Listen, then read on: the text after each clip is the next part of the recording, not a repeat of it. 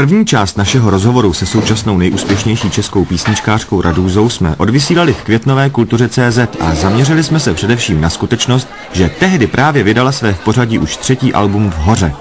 Tentokrát si Radouza bude povídat s kavárníkem Jirkou Hrdinou o svém soukromí.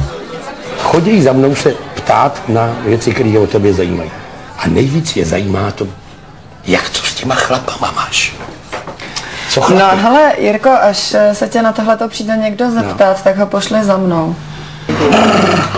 Jsi můj, jsi můj, jsi můj, jsi můj, jsi můj a já jsem tvoje. No, tak já mám ráda všechny zvířata, ale zrovna na mě zbyl pejsek.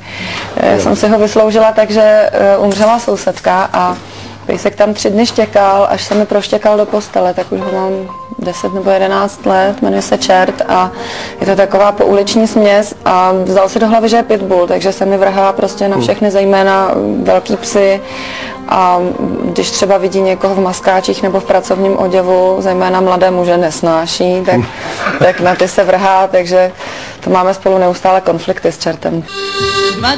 Na chodníku kouřeji Ameriku. Ty jsi známá tím, že cestuješ hodně, hmm. že jo, zejména v létě jsi vůbec, jak se všichni jdou opalovat, tak ty jdeš někam do Norska nebo tak. No ale to chce do Gronska. Do Gronska dokonce, to je úžasný.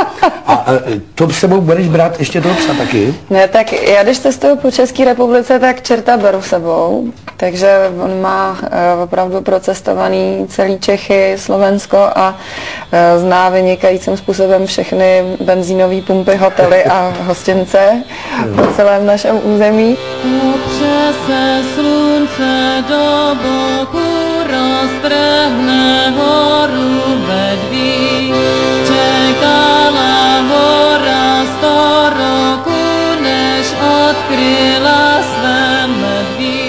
Já jsem vždycky doma tak eh, čtyři dny z měsíce a jinak doma nejsem. A ty čtyři dny vždycky usilovně peru, uklízím, žehlím a, a snažím se dát... představit, člověče. No, Jirko, člověče, já docela vařím i jako a prej dobře. No, ještě jsi mě nepozvala na oběd. Dokonce jsem vyšila i ubrus. Ale trvalo mi to dva roky, protože vůbec jsem na to neměla čas. Ledová nahoře mezi dva příkré srázy. Co chceš teď zrovna jako ještě nějaký další projekt? Jako známý je, že jsi hodně viděná v Polsku. Eh, Polsky jsem se začala učit, protože se mně líbila polská muzika. A ono se to pak samo tak jako semlelo, že jsem se v Norsku seznámila s jednou polskou kapelou, která se jmenuje svojou drogou. A e, natočili jsme desku společně teďka v lednu.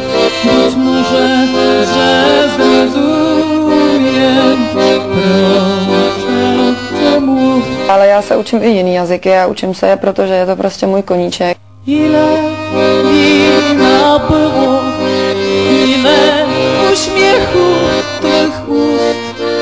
Já třeba, když eh, zpívám ty písničky svoje, tak, tak prožívám katarzy, prožívám různé věci. Mě nosí chromá kobila, nina na mě, nina na mě, nina na mě nezbyla, ať si kulhá do svahu, a vytrvalo srdce věrnost, vytrvalo srdce odvahu.